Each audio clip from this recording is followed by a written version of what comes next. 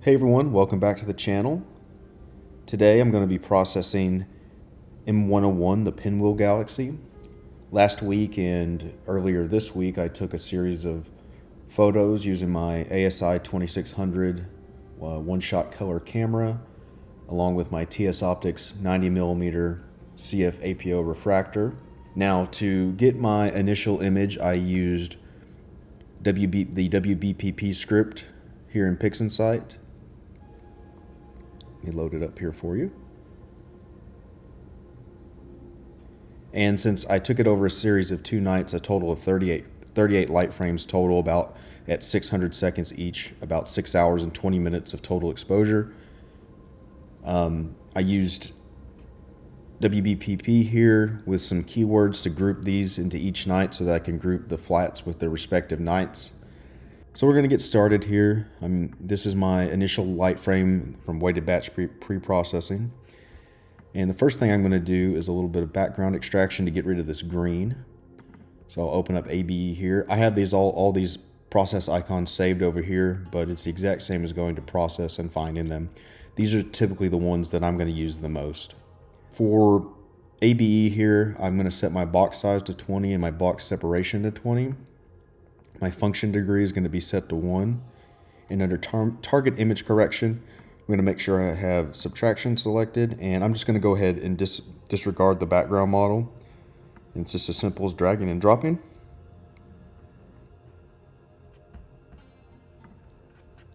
And that will remove little stretch here, our auto stretch.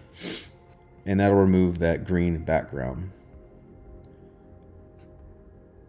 The next thing I'm going to do is crop this a little bit. You can see I've got some uh, some of the stacking issues, I guess, from doing multiple nights, the, the slight movement in between nights here. I'm going to go ahead and do a quick dynamic crop.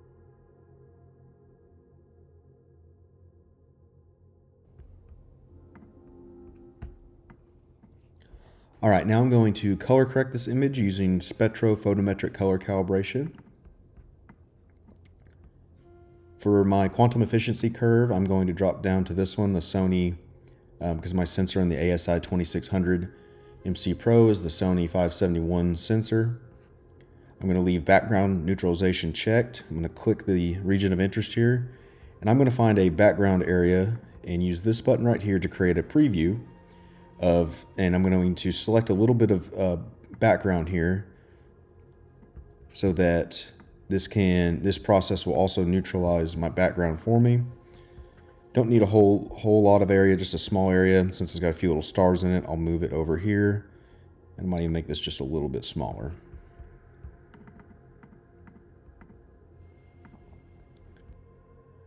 We'll then, for the region of interest, we'll then select from preview and make sure that your preview selected. I'm now ready to use SPCC. Now, sometimes when using SPCC, you'll come across uh, come across this warning right here that there's no uh, valid ast astrometric solution. Uh, to fix that, we're basically going to do a kind of a quick plate solving. We're going to go to Script, Image Analysis, Image Solver. And I find that you just use all the active windows and just leave this as defaults because it's got a lot of that data built into it already and just hit OK. And then you'll let uh, let the script do its work here. All right, once that's done, we can just take our triangle here and drop it on here. And now you'll see that it'll color correct the image now that it, now that the uh, image has been properly solved.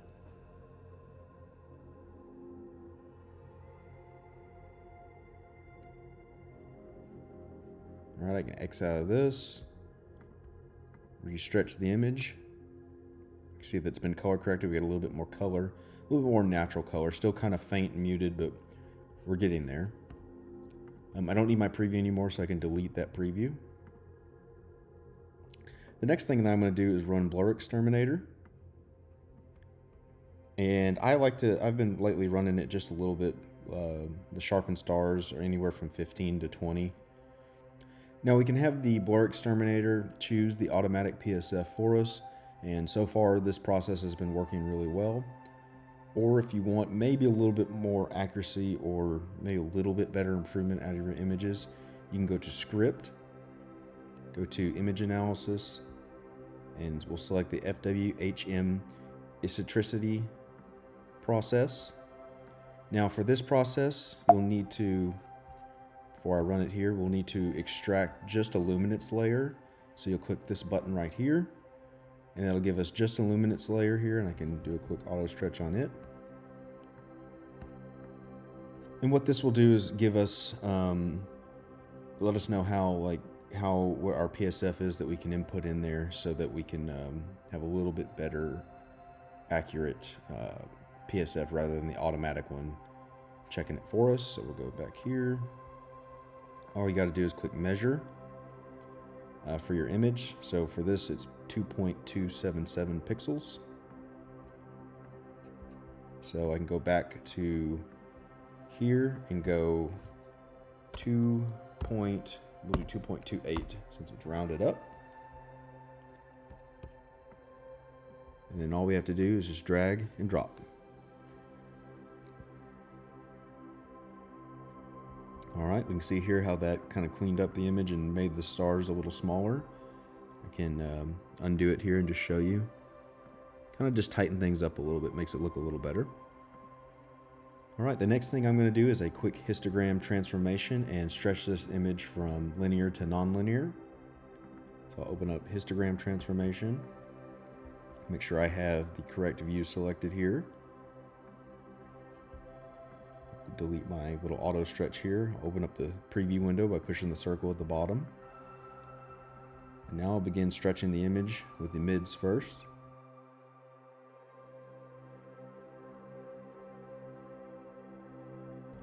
All right, once you get that image stretched to your liking,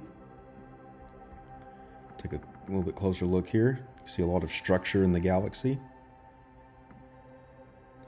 Now that I have this stretched, um, I'm actually going to run a quick noise reduction on it. I'm going to go to my processes and down to NoiseXTerminator. And just like anything, this normally would default at about 90. I've been running the, this process at about 40, 45. Uh, I find, I'll show you here real quick. If I run it at its default setting, it reduces the noise a little too much for me. It almost makes it look plasticky. So I'll just show you all that here. Certainly did remove the noise, but to me, I just don't like how that's that's just a little too smooth. So I'm going to undo that. You see it brought that noise back up. Now the process is undone. And I'm going to run it about half of that.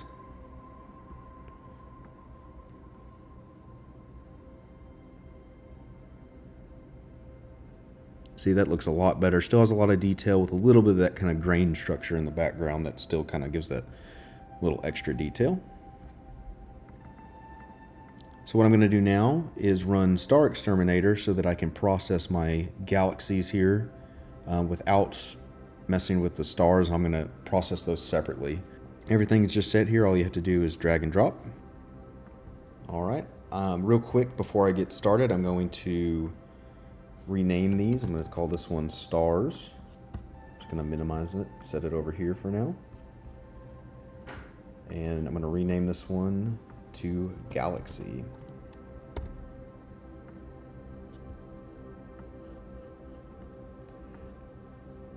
I'm going to process my galaxy first. The first thing I'm going to do is run a quick curves trans transformation here. I'm going to select this uh, saturation tab open up my preview by selecting the circle. And as you can see here, if I slide this up, I can add saturation and color into the image. Obviously that's way too much. I just want a little bit, you're just going to make subtle changes here at first, just enough to add some blue into the, to the spiral arms of that galaxy. We'll apply that. And I might just bring up the blues just a little bit. Obviously, if you, if you bring the blue in the midtones, you're going to also bring the blue in the shadows. So we're just going to down here in the shadows, just drop the blues just a little bit. Again.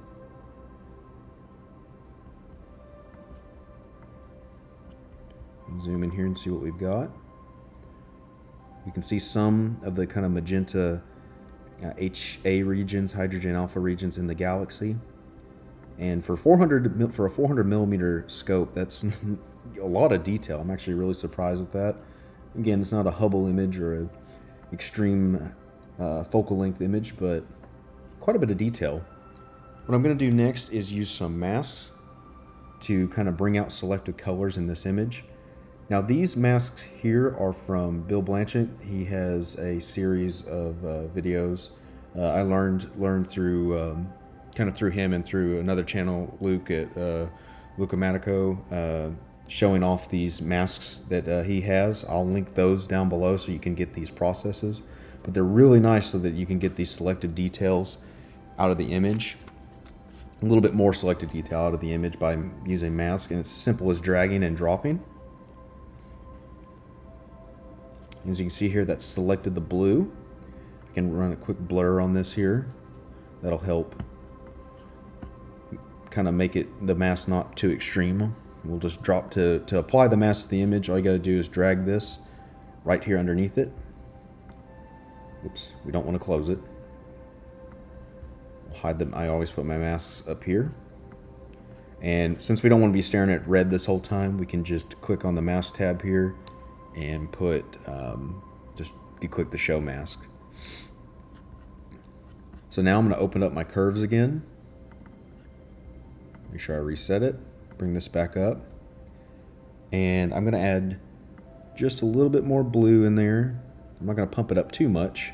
But now I can pump it up without, I can pump up the blues in the spiral arms without getting a lot of the extra background as well. So you can see here, I drop the blues, I'm going to add just a little bit more blue to this image. I'm also going to add just a little bit of red. That'll help start to bring in that those HA regions. So about right here. And then with my greens, I'm going to just drop the green just a little bit. Not too much because we'll run some SCNR later, but just a little bit. All right, click the apply button here. If we zoom in here, you can see what that's done. What a nice color in the galaxy. I'm going to remove this mask by just clicking uh, remove the remove mask button here. And now I can start to see some of these pink areas the, that are the hydrogen alpha. They've kind of pink, almost a magenta color. So I'm going to use a run a magenta mask here. Again, just drag and drop on top of here and that has created a magenta mask in a lot of these HA regions. So even though we're I'm using a one-shot color camera, we're still with these long 600 second, 10 minute long exposures. I'm still able to pull some of that data out of here. So the, in, in this way, we're just able to kind of extract it, manipulate it a little bit easier. I'm gonna throw this blur on here. And I'm gonna do the same thing, drop this mask onto my galaxy image. My mask is already on there, I already have it hidden. Put my mask up here. You don't want to X out the mask at least while they're active because then it will delete them off your image. So again, we're going to go back to the curves transformation. Make sure everything's reset. Open up my circle for the preview. And now what I want to do is add a little bit of more of that red. See if I pop up the red too much here in the center. I've got way too much.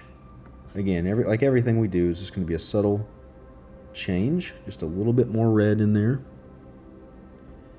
And I'm going to drop my green, I think, a little bit more too. That'll kind of make a, those regions a little bit more kind of a pink, kind of that pink hue that you see in a lot of galaxy images. So just a little bit. And I might hit up the saturation just a bit more. So we'll try that and apply that.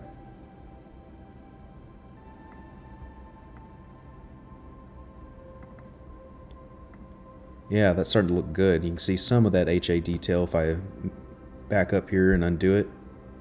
See how that brings it up just a little bit more, just in that pink, those pink regions right there. Very nice. And if you'll notice kind of in the, uh, in between the spiral arms of the galaxy, this yellowish dust, it almost looks green. It does have kind of a green tint to it here. I'm going to go ahead and use SCNR.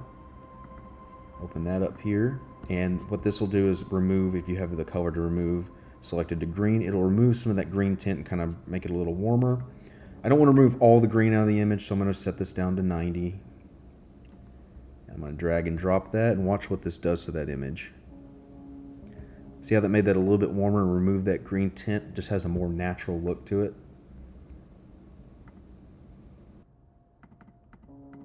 All right, now that I'm satisfied with my galaxy only image, the colors and everything, I can now work on the stars.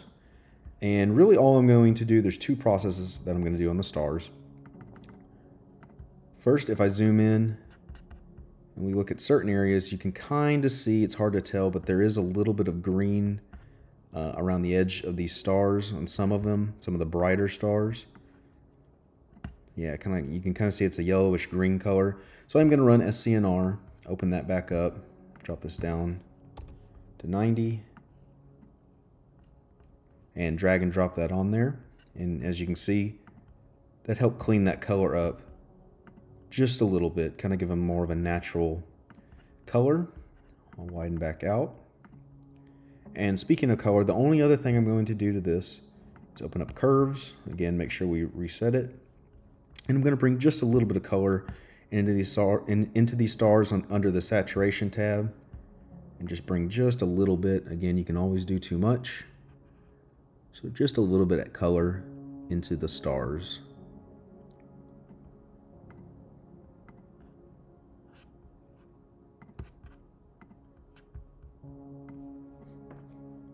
All right, with my stars done and processed, now going to go to Pixel Math. And I always like to create a new image. That way, if I don't end up liking it, I can, you can always undo it, but that way, all I got to do is just X out of it, and I can kind of make any other changes that I need to in their respective um, panels here. So for this, I'm just going to enter in Galaxy plus stars, and that'll combine these images back together.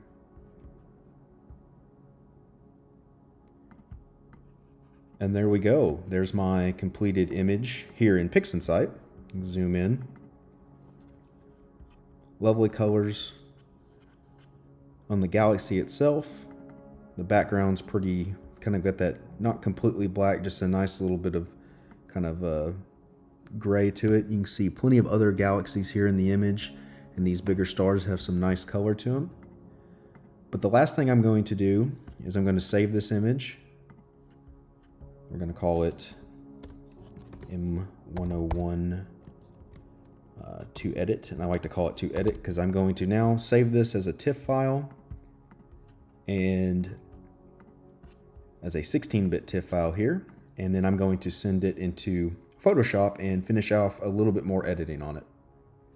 All right, I've now moved my image into Photoshop, and as much as I like PixInsight and it's a great tool and has lots of features on it, I do like to finish out my images in Photoshop. I find it a little bit easier to use the adjustment, adjustment layers uh, to make some final color correction uh, in my photos and trying to get that final look that I like. So the first thing do I'm going to do is go down and create a new adjustment layer with uh, color balance. And it's, it might not translate onto your screen as well. And again, all of that's going to depend on your color calibration of your monitor.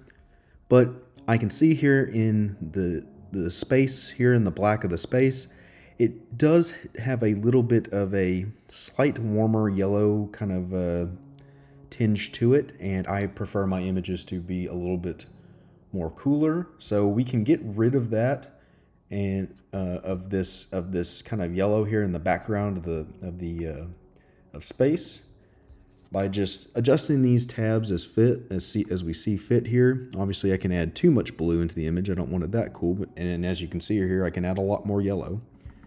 So I'm going to just increase my blue in the shadows.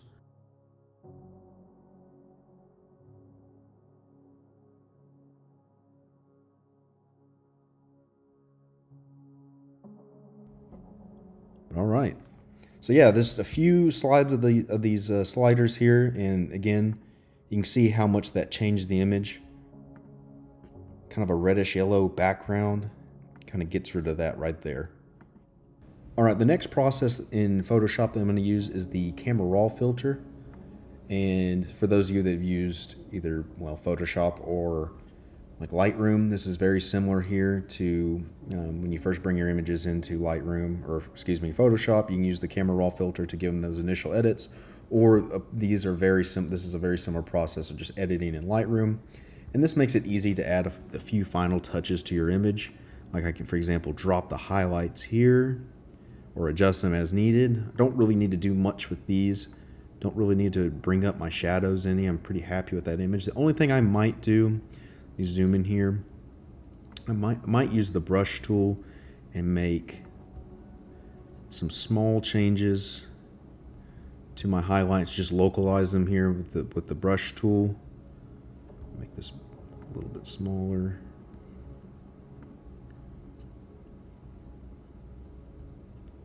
And as you can see here now I can adjust exposure or adjust the contrast a little bit as needed. Uh, you don't want to do too much because then you run the risk of it'll kind of have a halo effect to it. I might just bring the highlights down, I mean just a, ever so slightly here, just so that that center of that galaxy kind of pops a little bit more without being overblown out. So that's enough with that. Uh, the next process I'm going to use is I might add just a little bit of clarity. Don't want again, don't want to do too much here because if you you can crank that up way too much. But to add just a little bit of clarity, you might just add like a two or three. Not going to run any texture because again that will end up bringing that noise up in the background. I will increase my vibrance a little bit as well as my color saturation.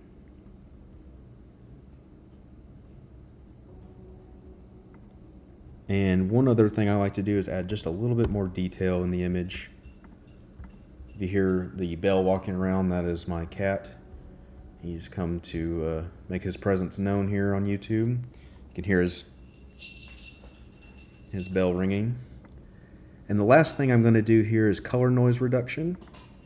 And he's eating now out of his bowl. I guess we all got to eat. I'm going to add, put that to 15, and you'll see how that corrects that little bit of color noise that we still have left. So with that, I'm just going to hit OK. Well, actually, real quick, I will probably fix the distortion of this just a little bit. I'm going to push this up to 1. This will fix that little bit of barrel distortion that my um, telescope has. That to there. You can see the little bit difference that it made. I'm just going to hit OK.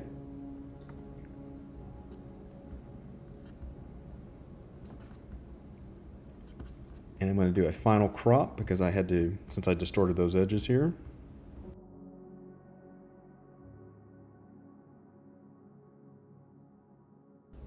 But there we go. There you have it. There's my final M101 Pinwheel Galaxy edited image.